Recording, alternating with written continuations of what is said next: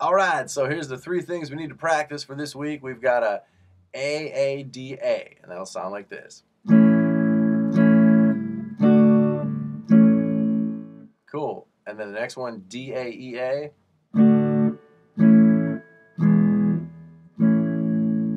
the last one is A D A E.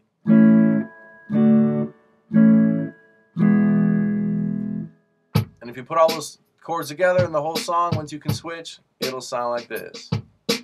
Twinkle, twinkle, little star, how I wonder what you are. Up above the world so high, like a diamond in the sky. Twinkle, twinkle, little star, how I wonder what you